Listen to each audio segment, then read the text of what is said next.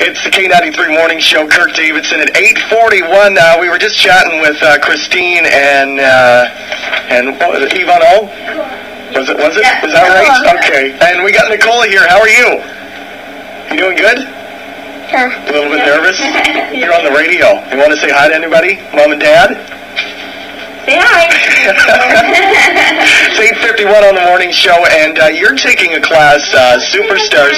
What what exactly are you taking in the class? What are you doing over there? Uh, this is, Dancing. So what what exactly? What's your favorite dance?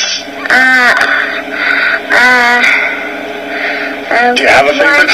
Just want to have fun. Girls just want to have Girls fun. just want to have fun. So is that your favorite song? Is that the one you dance to all the time?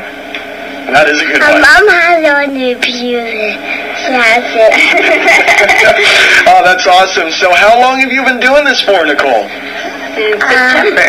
yeah. Since September. So you're really enjoying it. It's a lot of fun. Lots of fun. Mm-hmm. What's your favorite thing to do?